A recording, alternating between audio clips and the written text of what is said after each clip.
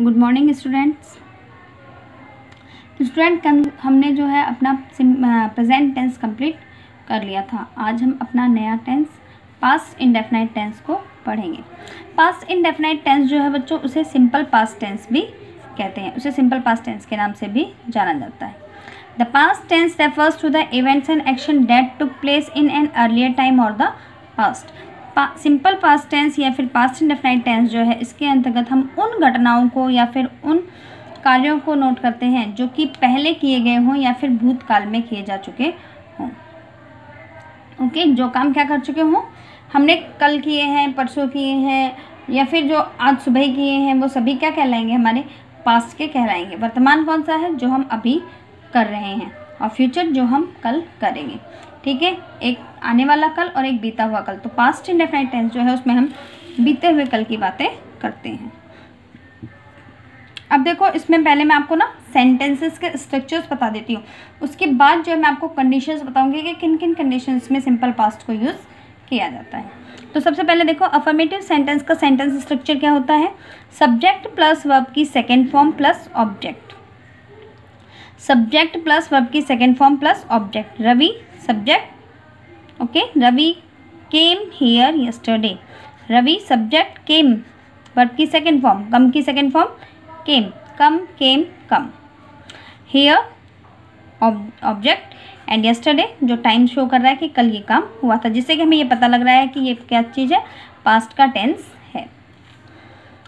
They went to Jaipur last month they subject went go की second form है to Jaipur last month next देखो negative sentence negative sentence के sentence structure जो है वो होता है subject plus did not did not लगाने के बाद में बच्चों जो है, हम वर्ब की सेकंड फॉर्म यूज़ करते हैं। देखो, अब डिड नॉट से कैसे शो किया कि अब पहले तो हम वर्ब की सेकंड फॉर्म यूज़ करते हैं, लेकिन अब वर्ब की फ़र्स्ट फॉर्म क्यों यूज़ करें?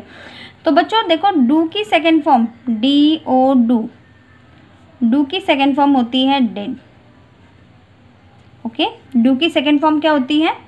डिड होती तो जैसे हमने सिंपल प्रेजेंट में डूडज यूज़ किया था, वैसे ही यहाँ पे हम डिड यूज़ करेंगे। शब्द सब subject plus did not plus verb की फ़र्स्ट फॉर्म और उसके बाद हमारा ऑब्जेक्ट आएगा। तो देखो सेंटेंस कैसे बनाया रवि, जो सेंटेंसेस हमने एफर्मेटिव बनाए, उन्हीं को हम निगेटिव में चेंज करते हैं। रवि डिड नॉट फिर वर्ब की फ़र्स्ट फॉर्म कम।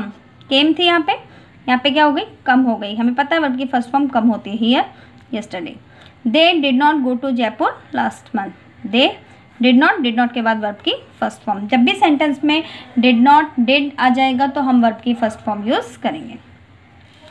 नेक्स्ट है इंट्रोगेटिव सेंटेंसेस इंट्रोगेटिव सेंटेंसेस कौन से सेंटेंसेस होते हैं? इंट्रोगेटिव सेंटेंसेस वो सेंटेंसेस होते हैं जो कि हमें प्रश्न बताते हैं। ये शो करते हैं कि हमने जो सेंटेंस यूज़ किया है, वो क्वेश्चन पूछने के लिए यूज़ किया जा रहा है। ठीक है, बच्चों, ये सेंटेंसेस जो हैं, दो टाइप्स के होते हैं। एक तो जो हेल्पिंग वर्ब से स्टार्ट होते हैं और दूसरे जो कि डब्ल्यू एच वर्ड से स्टार्ट होते हैं। ठीक है? हिंदी में भी जो है, ये दो प्रकार के होते हैं सेंटेंसेस जैसे एक तो क्या से शुरू होने वाले सेंटेंसेस और एक ऐसे सेंटेंसेस जिनमें क्या, क्यों, कैसे वर्ड वाक्य के बीच में आते हैं। ठीक है, जो क्या से शुरू होने वाले सेंटेंसेस होते हैं, वो डिड से या हेल्पिंग वर्ब से शुरू होते हैं और जो क्या, क्यों, कैसे शुरू होते हैं, वो डब्ल्यू एच वर्ड से शुरू होते हैं।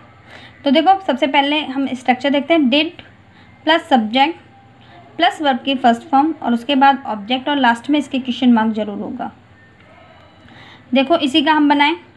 डिड रवि डिड हमने पहले ले लिया। रवि सब्जेक्ट बाद में वर्ब की first form come here yesterday last में question mark did they go to Jaipur last month question mark did did के बाद सब्जेक्ट दे और फिर वर्ब की फ़र्स्ट फॉर्म गो अब है डबल इंट्रोगेटिव सेंटेंसेस मैंने अभी भी आपको बताया डब्ल्यू एच वर्ड वाले सेंटेंसेस तो W H word plus did plus subject plus verb की फ़र्स्ट फॉर्म और उसके बाद ऑब्जेक्ट और लास्ट में क्वेश्चन मार्क तो देखो why did why did Ravi come here yesterday why W H word लगाया, फिर हेल्पिंग वर्ब लगाई, उसके बाद हमारा सब्जेक्ट और फिर वर्ब की फ़र्स्ट फॉर्म ऐसे ही जो नॉट वाले देखो डब्ल्यू अगर इन सेंटेंसेस में नॉट भी हो तो कैसे करें? इंट्रोगेटिव निगेटिव सेंटेंसेस हो तो हमने कैसे यूज़ करें? तो W H word plus did plus subject plus not plus verb की फ़र्स्ट फॉर्म उसके बाद ऑब्जेक्ट और लास्ट में question mark why did they not go to Jaipur last month question mark तो वाई क्वेश्चन वर्ड है? Did हमारी helping verb है.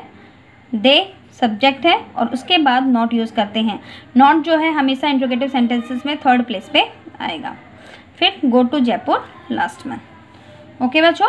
तो देखो, ये थे आपके सिंपल पास्ट टेंस के सेंटेंस स्ट्रक्चर अफर्मेटिव सेंटेंस के सब्जेक्ट प्लस वर्ब की second form plus object negative sentence के subject plus did not plus verb की फ़र्स्ट फॉर्म प्लस ऑब्जेक्ट और इंट्रोगेटिव सेंटेंसेस के did plus subject plus verb की first form plus object and last में question mark double interrogative sentences जो हैं उनमें W H word पहले आएगा और जब डबल इंट्रोगेटिव नेगेटिव सेंटेंसेस होंगे तो उनमें जो है सब्जेक्ट के बाद में हम नॉट का यूज़ करेंगे।